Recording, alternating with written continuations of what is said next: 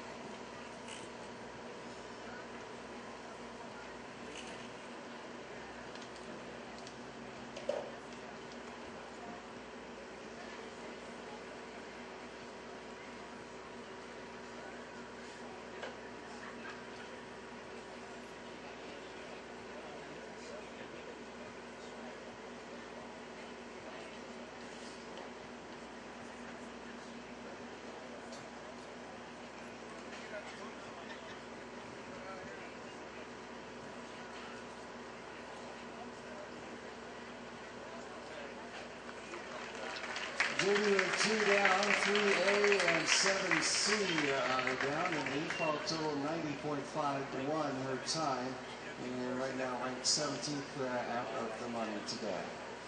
Pablo Barrios, the second.